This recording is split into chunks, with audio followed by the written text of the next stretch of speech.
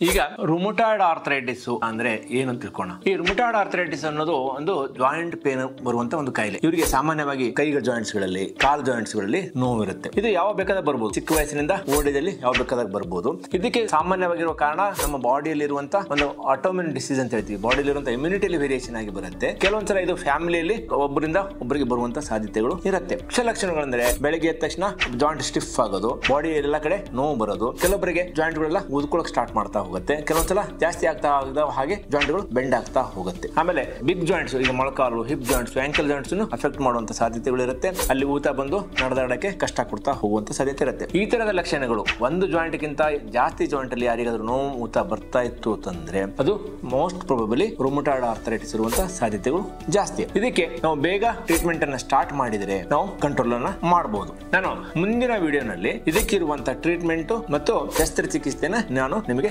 ತಿಳಿಸ್ತೀನಿ. ಈ ವಿಡಿಯೋ ನಿಮಗೆ ಇಷ್ಟವಾದಲ್ಲಿ ಇದನ್ನ ನೀವು ನಿಮ್ಮ ಗೆಳೆಯರಲ್ಲಿ ಮತ್ತು ಸಂಬಂಧಿಕರಲ್ಲಿ ಶೇರ್ ಮಾಡಬಹುದು